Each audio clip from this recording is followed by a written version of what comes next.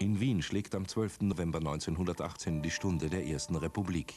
Der Kaiser hat abgedankt und das Land verlassen. Vor dem Parlament wird die Demokratische Republik Deutsch-Österreich ausgerufen.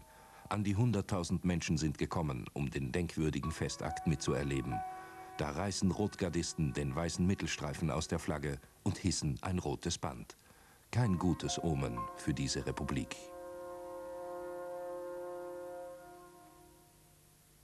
Es herrschen Hunger und bitterste Not. Kriegerwitwen und Waisen sind auf Almosen angewiesen. Der Winter steht vor der Tür. Der Wienerwald wird gerodet.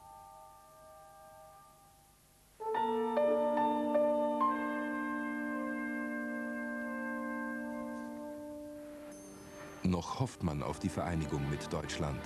Unter Führung des sozialdemokratischen Staatskanzlers Renner fährt Österreichs Delegation zu den Friedensverhandlungen nach Saint-Germain. Doch das Diktat der Siegermächte ist hart. Hohe Kriegsentschädigungen werden gefordert, die Vereinigung mit Deutschland verboten, Südtirol und andere deutschsprachige Gebiete müssen abgetreten werden.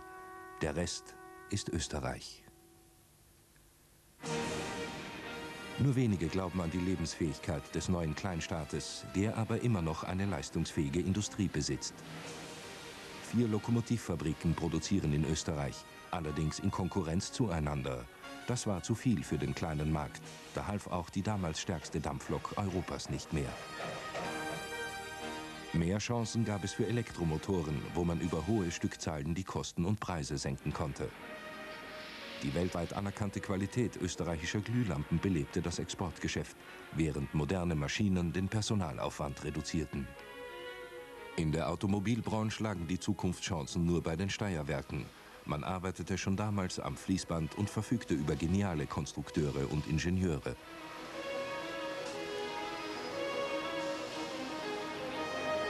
An der Börse standen die Zeichen auf Sturm. Große Aktienpakete wurden noch schnell auf Schulden gekauft, für Geld, das bald nichts mehr wert sein würde. Große Industriebetriebe sind damals in die Hände von Spekulanten und Gaunern gefallen. Und niemand konnte diesem ruinösen Spiel ein Ende bereiten.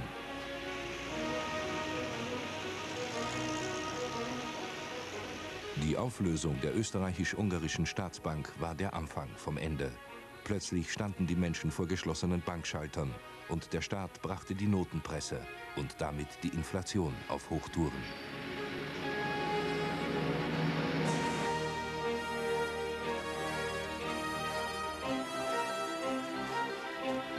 Der Wettlauf mit der Inflation beherrschte den Alltag. Sogar die Straßenbahn wurde von Woche zu Woche teurer. Doch dann kam die Wende.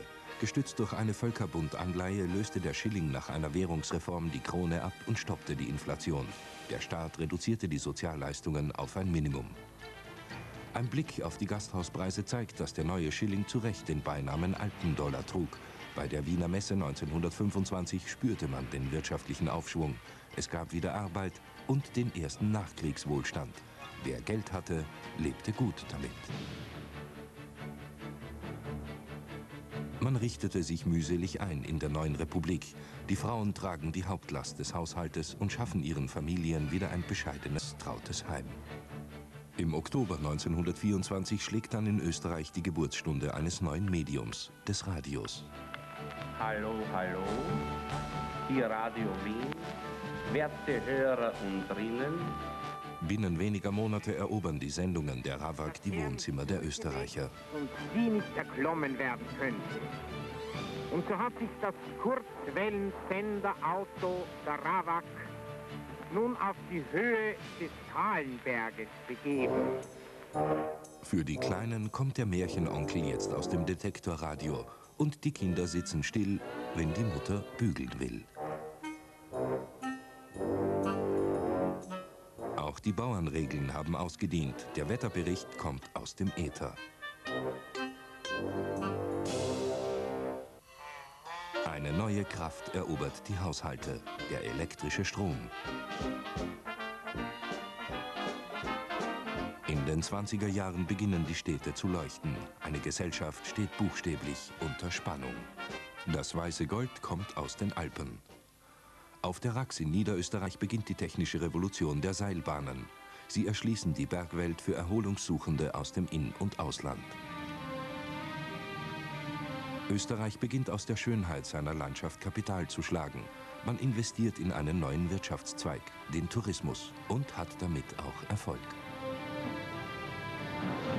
Vor allem im Winter wird die Arlbergregion zu einem beliebten Urlaubsziel.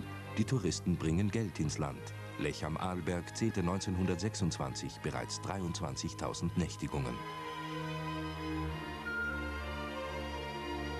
Diese Großwohnanlagen erinnern noch heute in Wien an die bis dahin größte Wohnbauoffensive der Ersten Republik. In der unter Bürgermeister Karl Seitz einzigen sozialdemokratisch regierten Millionenstadt Europas wurden binnen weniger Jahre an die 100.000 Wohnungen für das Proletariat gebaut. Für das christlich-soziale Bürgertum wurden hier nicht Sozialwohnungen, sondern Volkswohnpaläste als bedrohliche Wehrburgen errichtet. Alle Wohnungen verfügten über Fließwasser und eigene Toiletten. Große Innenhöfe und Gemeinschaftseinrichtungen wie Bäder, Waschküchen und Kinderspielplätze waren bis dahin unbekannt. Die Anfänge der Zivilluftfahrt waren bescheiden. Fliegen war ein sehr teures Vergnügen. Auf dem Flugfeld Wien-Aspern landen die ersten modernen Verkehrsmaschinen. Wien kann sich als europäisches Luftverkehrszentrum fühlen, denn Aspern war damals der größte Flughafen Europas. Nicht weniger als elf Airlines landen hier und dennoch, es herrscht keine Hektik bei der Abfertigung der Passagiere. Politisch treibt Österreich dem Abgrund zu. Die Christlich-Sozialen stellen mit Prälat Ignaz Seipel den Bundeskanzler. Er findet kein Rezept gegen die Radikalisierung der großen politischen Lager. Das Bundesheer gerät immer öfter zwischen die Fronten der politischen Gegner. 1927 werden im Schattendorfer Prozess die Mörder eines Schutzbündlers und eines Kindes freigesprochen.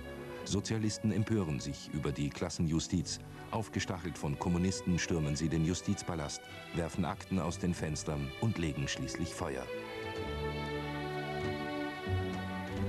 Der Justizpalast brennt und Polizeipräsident Schober lässt auf die Demonstranten schießen.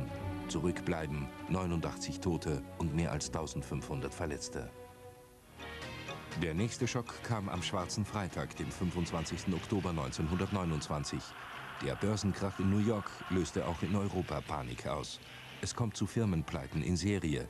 Die Bodenkreditanstalt ist am Ende und muss von der CA aufgefangen werden. Immer mehr Menschen verlieren ihre Arbeit und müssen stempeln gehen. Die sozialen Spannungen radikalisieren das politische Klima enorm. In Österreich leben zwei Millionen Bürger in bitterer Armut.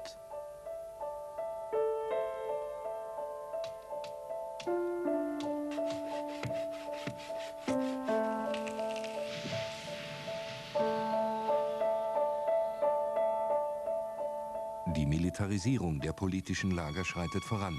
In den Ländern entstehen bewaffnete Heimwehren, die dem Parlamentarismus abschwören und einen faschistischen Ständestaat wollen. Auch die Arbeiterschaft rüstet sich im Schutzbund. Aufmärsche beherrschen die öffentliche Szene. Die Nationalsozialisten gewinnen immer mehr an Boden. Ihre Demonstrationen lassen keinen Zweifel an ihren Absichten.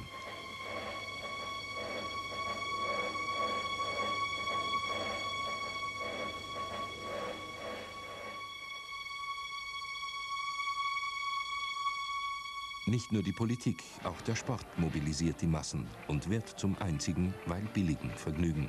Massenturnen bei der Arbeiterolympiade im Wiener Stadion. Riesige Begeisterung über den Besuch des Zeppelin in Wien.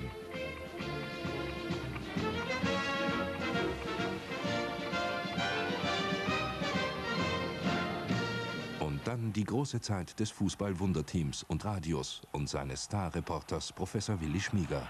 Schramsei sendet den Ball nach vorne zu Zischek. Schall küsste den Boden, stand aber wieder auf, dehnte die Liebesszene nicht allzu lang aus, richtet sich den Ball, nimmt einen Anlauf, die Ungarn machen eine Mauer, der Schuss geht.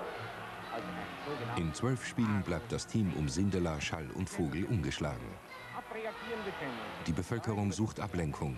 Man jubelt im Stadion und tanzt auf dem politischen Vulkan. Pardon, ich wiederhole.